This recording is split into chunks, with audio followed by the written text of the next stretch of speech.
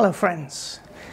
Given it's Masters Week, I thought I'd do a quick little clip to thank all my followers and viewers to Aly's Golf Studio since in the top 10 series that I started beyond the initial many individual clips, particularly around exercises, we've passed the 50 clip mark.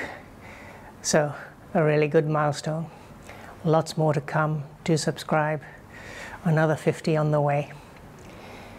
Let me first thank you for following this channel, for sharing the clips with others if you've done so, for those who have commented. And I hope that the range of things that I've provided has been both interesting, versatile, different, but also drawing on a lot of knowledge, personal experience, personal effort in my own golf game, and drawing from experts, pros, and others.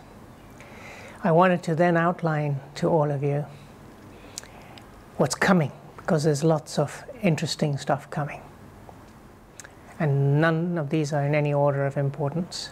I'll do them as my analysis and research and material is assembled and ready to be filmed. First is many more pro comparisons.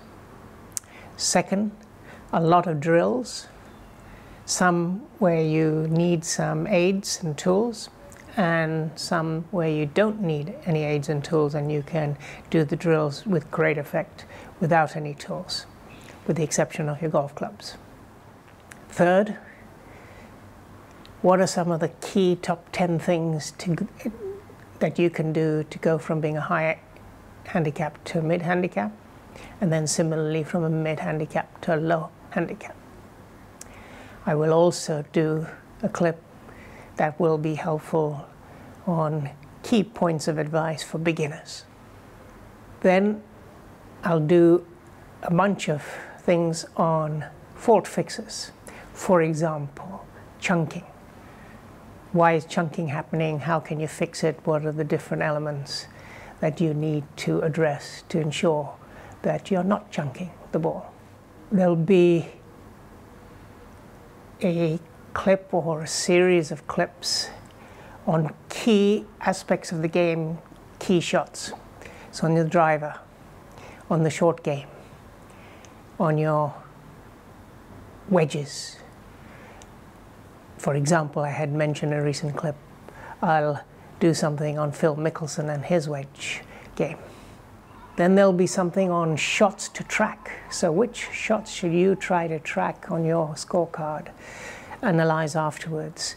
And it'll help you pinpoint those areas where you could quickly fix or improve or where you need to focus on, whether it's on the range or in another practice round. And then go back and when you track it again in the next round, see whether that's made a difference both to your game, to your score, and to your enjoyment. Elements to get rid of. So different elements that you may have picked up, different habits that without realizing it, but through some tools, including videoing yourself, using things like live view, for example, you can get rid of certain elements which in, it, in and of itself will help you improve your golf swing and your golf game. And then similarly to the sort of mid, high, low handicap, what are the key elements to break 90? What are the key elements to break 80? So you'll see from this quick summary, there's lots more exciting stuff to come and I look forward to putting them together, reflecting on analysis and research. Being Masters Week, I thought it would be good to give a big thank you, but also to give you a heads up of other things to come. Do subscribe, stick the notifications on because that way you'll be informed when all of these different pieces are ready and uploaded. Do comment, do contribute. See you on the flip side.